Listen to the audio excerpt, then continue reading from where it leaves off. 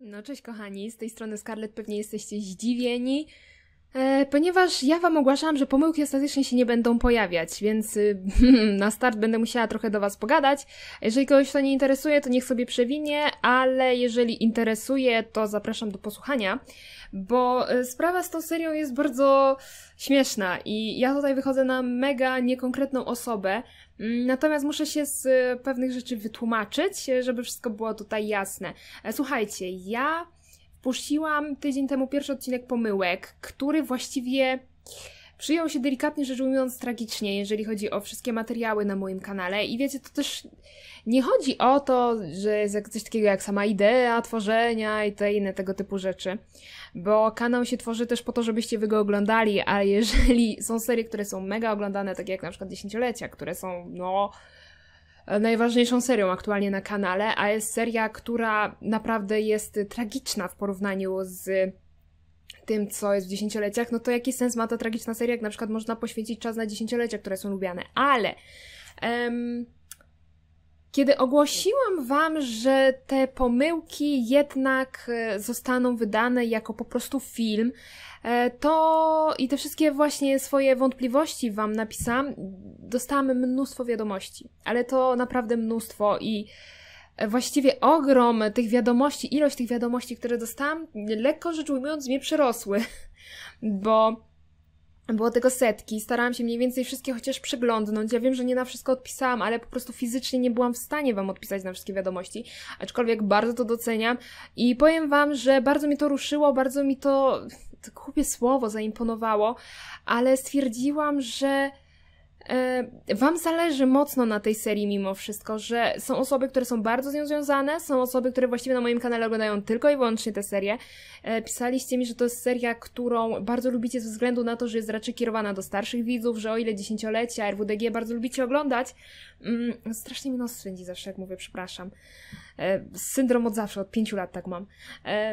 O tyle pomyłki są bardziej takie poważniejsze i że nie wyobrażacie sobie tego jako w ogóle film, dlatego że mm, lubicie zgadywać, e, co się będzie działo, że lubicie się w to angażować, lubicie żyć tą serią tak naprawdę, że to daje wam mega em, taką mm, rozrywkę. E, Pisaliście mi też, że e, uwielbiacie jak jest rozgrywka mimo wszystko w tej serii, a ja się zdziwiłam trochę, bo ja wiem, że ja w tej rozgrywce jakichś wielu intensywnych rzeczy robić nie mogę, ponieważ głównie opiera się ta seria na cutscenach, bo one jakby ciągną fabułę. No i z tego wszystkiego, jak dostałam masę tych wiadomości, stwierdziłam, że kurde, dobra, może ja się was zapytam, co ja mam z tym zrobić, bo ja miałam absolutny mętlik w głowie z tą serią. No i napisałam na Instagramie, jeżeli ktoś mnie obserwuje na Instagramie, to mógł wziąć w tym udział. No po prostu szczerą prośbę. Powiedziałam jak jest, powiedziałam, że ja nie rozumiem tego wszystkiego, nie rozumiem dlaczego e, jakby ta seria w momencie, kiedy jest wrzucana, jest jakby totalnie dramatycznie przyjęta, ale naprawdę dramatycznie przyjęta. Ja nie przesadzam, bo ja mam dostęp do różnych statystyk, których wy nie widzicie. Wy widzicie tylko cyferki, które są tam wyświetleniem, łapkami i ja mam naprawdę głęboką analizę, bym powiedziała, e, odnośnie serii i, i- i wiecie, i mam bardzo taki dokładny obraz tego, co jest y, przez was lubiane, co jest przez was nielubiane na kanale. Ale to potem nagle z czasem, jak napisałam, że z tej serii będę rezygnować, e, totalnie się zmieniło. E, I miałam już taką sytuację raz i teraz mam znowu i tak napisałam na Instagramie i się śmiałam, że kurde, to wychodzi tak, że ja powinnam wam co tydzień ogłaszać, że ja zrezygnuję z tej serii, bo ta seria wtedy się nagle tak pff, jak Feniks z popiołów podnosi.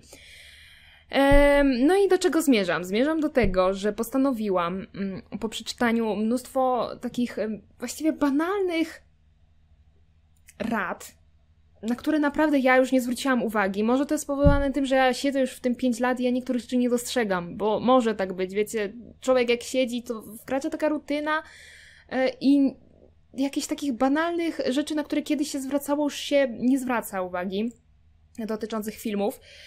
E, I było mnóstwo rozmów, i ja stwierdziłam, przepraszam, ja wyjdę teraz na cholernie niekonkretną osobę, i ja wiem, że to jest żałosne. Em, ale e, stwierdziłam, że chrzanie to i po prostu zrobię to tak, jak miało być. Już nie będę, nie wiem, się tym przejmować. Będzie jak będzie, będziecie oglądać jak będziecie oglądać, ale kurde, po tych wiadomościach, co ja dostałam od widzów, fanów tej serii, to po prostu ja bym po nocy nie spała, gdybym ja olała ich prośby. E, I to by było cholernie nie fair. Cholernie nie fair względem tych widzów. I ja nie chcę być nie fair, więc ja wiem. To jest może żałosne, to może nie wiem, nie ma sensu, może robię głupotę, e, ale stawiam e, na was, no, na widzów tej serii i skończę ją tak jak miała być, bo skoro e, ja chcę uszanować to wszystko i pokazać wam zakończenie tej serii, bo ona się kończy po tym sezonie, a wy nie chcecie go w formie filmu, tylko chcecie go normalnie w sposób taki, że odcinki są pokazywane, to czemu ja mam wam robić na złość? No nie, to nie ma sensu, więc zostawiamy te pomyłki w sobotę, natomiast zmieniamy trochę godziny publikacji, bo też prosiliście mnie o to. E, postaram się, żeby pomyłki były... Mm, a jeszcze dam wam ankietę na Instagramie, więc ja teraz nie wiem, jakie będą wyniki, ale wrzucę wam. Między 16 a 18 zastanawiam się, czy też te pomyłki robić po prostu jako premierę, czy jako zwykły odcinek, premiera taka na czacie na live, żeby pogadać, czy jako zwykły odcinek, nie wiem, zobaczymy.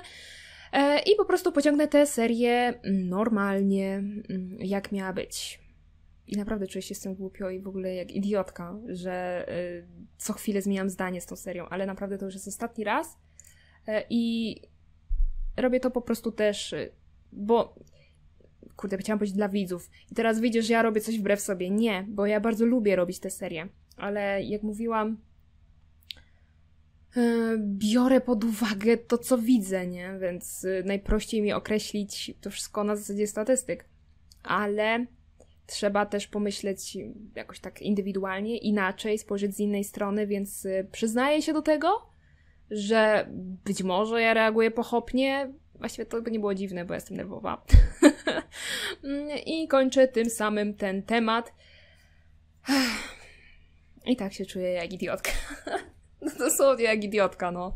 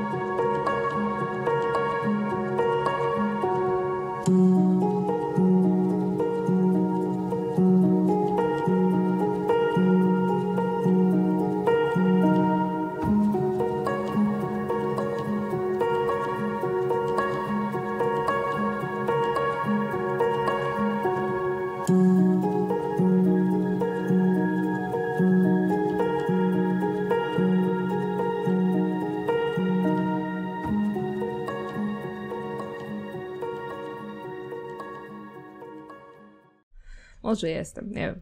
Dobra, kochani. Ale przechodzimy do rozgrywki, bo będzie rozgrywka, będę starała się Wam e, nagrywać te materiały. E, lecimy sobie do państwa, którego bardzo dobrze znacie, mianowicie rodziców mi. Ja Wam ich pokażę w kasie, bo nie wiem, czy Wy ich oglądaliście w ogóle.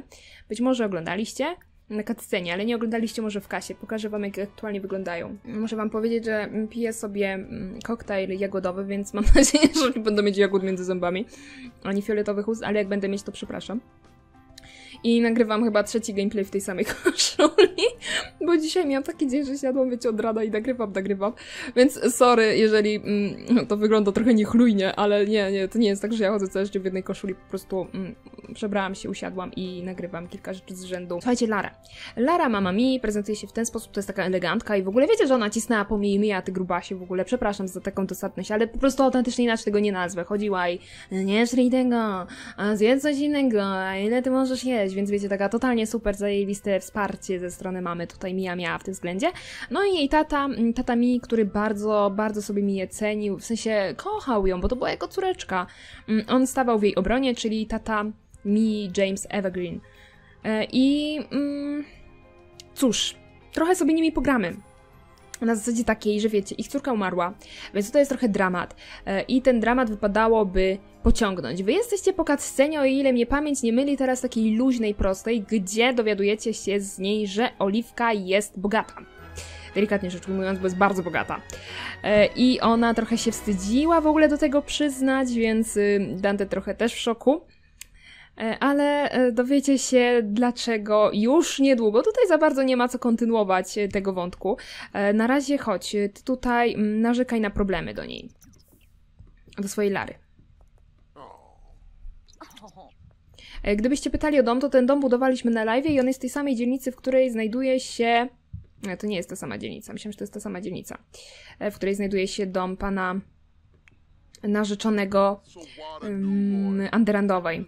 Ja nie wiem, czy to dobre słowo. Smutek i żal w przypadku y, mamy y, mi. W sensie wiecie, to nie jest tak, że ona jest podna, podła, okrutna i zła.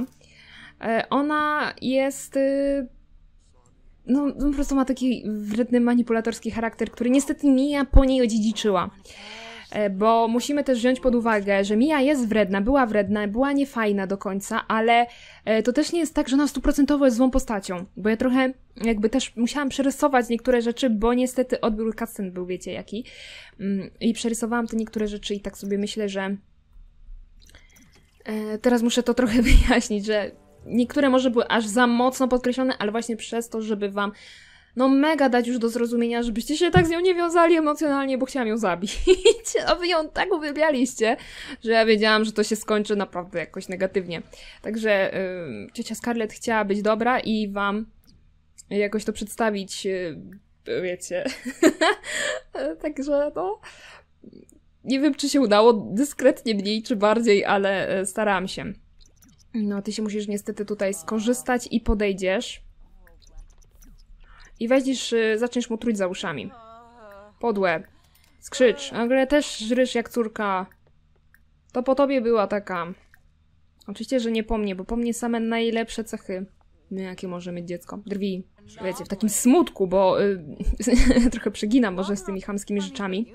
Y, ale teraz ty, weź ją obraź, że ty jesteś wredna podła. Y, podłe y, krytykuj techniki Barabara, że w ogóle w tym związku to była sama jedna wielka kupa i nic nie było takiego. E, w ogóle powiedz, że to jest jej wina, że mm, ona mija taka była nieszczęśliwa w swoim życiu. Bo ciągle tylko zakazywałaś jej jeść i w ogóle. Coś z ciebie za matka, kłóć się, kłóć się o politykę. No wiadomo, jak się już kłócimy, to na całego, politykę też być może. Eee... Sugeruję, że matka jest mamą. Taki najbardziej hamski, simowy pocisk, jaki być musi. E, być może wrzucimy tutaj. Także jest straszna, straszna tutaj agresywna rozmowa. Kłócie o karierę. Że nie mieszkamy w takim domu jak Anderandy. W ogóle co to ma być? Ona myślała, że z Anderandem jej córka będzie, a tu jednak taka lipa. E, chociaż Anderand ma trochę przerąbaną rodzinę, więc tak w sumie mężu, wiesz, e, no... E, tak czy siak, kłótnia jest masakryczna i słuchajcie, Lara stwierdziła, że ona się tak nie bawi. Nie, nie, nie, ja z tobą w tym domu być nie będę. Jeżeli ty się nie chcesz wynieść, to ja się wyniosę. Chodź, and y, Anderandowa, Boże, chodź Lara, chodź. Będziesz się wynieść do swojej koleżanki? A kto jest koleżanką pani Lary i gdzie Lara będzie mieszkać? Oczywiście bardzo dobrze się domyślacie, ponieważ lecimy teraz do zarządzania światami i przenosimy Larę do Anderandowej. Chodź tutaj po przyjazne powitanie. A czemu wy się nienawidzicie? Miałyście być koleżankami. E, pociesz po śmierci. Słuchaj, będzie dobrze, damy radę. Przeżyłam śmierć też. Więc nic się nie przejmuj, spróbuj uspokoić. E, słuchaj, Lara, my się trochę nie lubiłyśmy, bo miałyśmy spinę, nie wiem o co, bo nie powinno być tej spiny. Ale mm, chodź tutaj, zjesz sobie coś dobrego. Mamy tutaj resztki kolacji, więc e, spokojnie możesz się poczęstować. E, I pójdziesz spać, słuchaj, do pokoju Vi albo, czy może Dantego, słuchaj, bo Dante ma ładniejszy, Vi ma trochę taki rozpierdziel jeszcze z czasów nastoletnich. E, także tak. E, chodź tutaj usiądź, pogadasz z koleżanką. Zbudujemy im relacje, słuchajcie. Poznaj. Co ja mam z tym? Słuchajcie, w ogóle każdy odcinek jak motyw jest. Słuchajcie, kochani. W ogóle, Boże, jak na jakimś, e, nie wiem, szkole. Znaczy nie no, nauczyciele chyba nie mówię do was, kochani. to by było o, straszne. E, opowiedz śmieszną historię. Popraw humor. Dasz radę, pogodzisz się z mężem, nie przejmuj się, będzie dobrze. Słuchajcie, lecimy jeszcze oczywiście do naszego Dantego i Oliwki. E, dzisiaj nie będziemy odwiedzać Vi, bo właściwie Vi nie możemy odwiedzić, bo on wiecie jest teraz w podróży i poszukuje swojej Iris. Mm, i co mogę wam powiedzieć? No, Vi jest typem raczej mrocznym, jest typem, który się pałał niefajnymi rzeczami. Tutaj może jeszcze w ramach wyjaśnienia wam powiem, że mm, on po prostu był od brudnej roboty. On pracował dla e, Deniego, i zajmował się ogarnianiem interesów Deniego. Czyli wiecie, on nie było tak, że on sam w sobie, a przynajmniej później, bo co było na start, to jeszcze nie wiecie. E, nie wiem, e, mm, że siedział, stał sobie po prostu na ulicy i handlował nielegalnymi mm, rzeczami. On miał za zadanie sprawdzać, jak to wszystko się kręci, ewentualnie kogoś postraszyć, jeżeli coś się nie kręciło i inne tego typu rzeczy, czyli taka e, robota trochę brudna, która jak widzieliście na cutscenie, mam nadzieję, że widzieliście, męczyła Vi. E, on tam przy rozmowie z Szafirem powiedział, że on już jest zmęczony tym, że on wie, że tam na przykład powinien pobić tam tego Kevina, czy coś tam za to, co zrobił, że wiecie, tak nastraszyć, czy coś, bo to wszystko było takie przerysowane i komiczne specjalnie, no, gościu się przestraszył, że w ogóle, Boże, jak w filmie jakaś akcja, nie? Taka taka totalnie cringe'owa, jak sam Vi. Natomiast y, oni to zrobili specjalnie, żeby go, nie wiem, trochę ośmieszyć, nastraszyć i Vi nie chciał mu robić nic złego, więc y, rozegrał to w taki, a nie inny sposób. Bo jak mówię, był zmęczony, a poza tym miał też inne plany, bo nie wiem, czy zwróciliście uwagę, on tam mówi, że są rodziny Iris, że on Iris wywiózł z miasta i że ma z nią plany. Mówił to do Shafira, który to Shafir oczywiście był zazdrosny, bo Shafir trochę tam o, do tego Vi, wiecie, kręcił się. A Dante też nie do końca y, radzi sobie z traumą. No nie do końca radzi sobie z traumą. Chodź tutaj. Mm. A Petunia sobie śpi. E, bo śnią mu się różne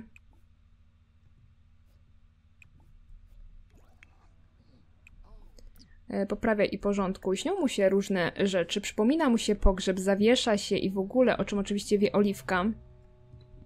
E, co też ona się stara to zrozumieć, bo pamiętajcie, że Oliwka to jest taka w sumie dobra dusza.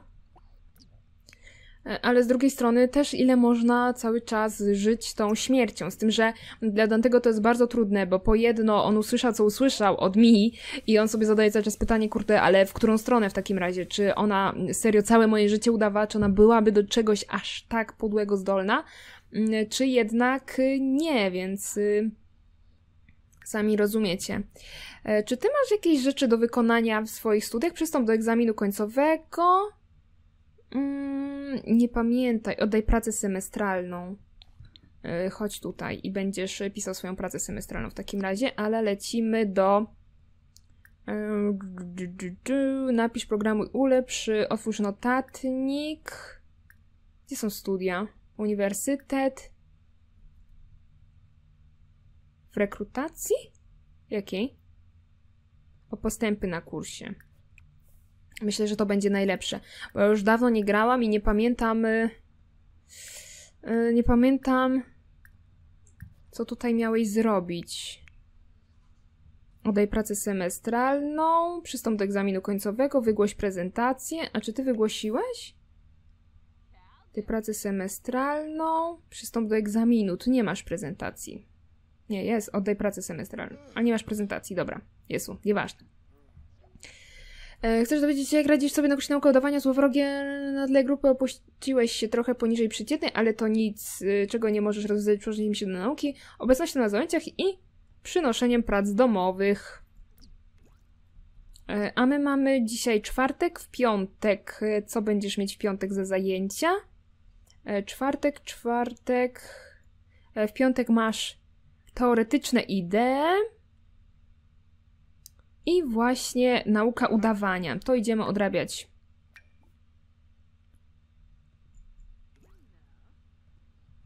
Chodź, odrobimy sobie pracę domową. Czyli tu wiemy, masz jaki masz status oceny kursu, zaraz się dowiemy kolejnego. Chcesz dowiedzieć się? Yy, idzie ci wyjątkowo dobrze, biorąc pod uwagę, że zostało nam jeszcze kilka dni przed końcem semestru, aby tak dalej, a dostaniesz świetne oceny. Masz jeszcze kilka dni, żeby doszlifować swoją pracę, która, jeżeli będzie reprezentować równie wysoki poziom, twoja dotychczasowa praca z pewnością zapewni ci świetną ocenę. Mm, świetnie ci idzie, pamiętaj tylko o pracy domowej. Do zobaczenia na zajęciach. Czyli trochę musisz poodrabiać pracy domowej. A czemu masz drugą? Ty masz dwie prezentacje do zrobienia? Czy przypadkiem po prostu dostałaś, bo gra się zbagowała? Mm, Świetnie ci idzie pani tylko o pracy domowej. Aż zobaczę. Praca semestralna. Egzamin końcowy, wygłoś prezentację. Jezus, wygląda na to, że muszę zrobić drugą, bo wiecie co, obawiam się, że jak jej nie zrobię, to gra to potraktuje jako niezrobienie w ogóle pracy semestralnej, więc nie ufam na tyle grze, żeby to po prostu tak luzem puścić. Mm, Więc nie. A swoją drogą wiecie, że Dante się planuje wyprowadzić z Oliwką. Znaczy, póki co jeszcze się nie śpieszą, ponieważ Vi i tak nie ma. E, Vi tutaj e, będziemy, właściwie no nie, no jutro zadzwonimy do Vi, zobaczymy co u niego. E, Natomiast kontaktujemy się cały czas z Vi. To nie jest tak, że Vi zostawił Dantego, on do niego dzwoni mimo wszystko, mimo problemów, y, jakie tam na swojej drodze napotyka. Mm, Więc, żeby nie było, Vi nie opuścił swojego młodszego brata, ale ma dosyć ważną misję, którą po prostu Dante rozumie. I wiadomo, oprócz tego, że Dante ma swoje problemy i się zastanawia, co odpieprzał jego brat starszy w ogóle, bo to brzmi dla niego trochę jakby Dante co najmniej ludzkimi organami handlował, Boże, Wi ludzkimi organami handlował. O, to depresja prysznicowa, ten prysznic to jest prysznic depresji. W każdej cutscenie. Każdy ma depresję pod tym prysznicem, chociaż i tak najbardziej takie... Gdzie jest Lucjan? Ty się zbagowałeś, Lucek? Lucjan? Co z tobą? Chłopie? No, żyje! Boże, Lucjan! Chciałam wam pokazać, ale Lucjan was nie lubi, więc wiecie, sorry. Nie pooglądacie Lucjana. I kochani, wydaje mi się, że na dzisiaj to już będziemy kończyć ten odcinek, bo chyba odpowiednia ilość czasu już jest nagrana. Powiem wam, że jakoś tak nie wiem, ostatnio bardzo długo siedzę, a potem bardzo dużo muszę wysinać, więc może nie ma sensu, żebym ja e, stypendia nie, zadania na kursy, praca semestralna, kontynuuj pisanie. E, nie ma chyba sensu, żebym ja po prostu się tak jakoś mocno rozczulała. O, ty możesz też. Nad długością odcinków, kiedy Yy, oddaj pracę semestralną. Jakoś normalna? Redaguj. My chcemy jakoś wspaniałą. Kurde, to oni jednak jakieś te zadania swoje zrobili.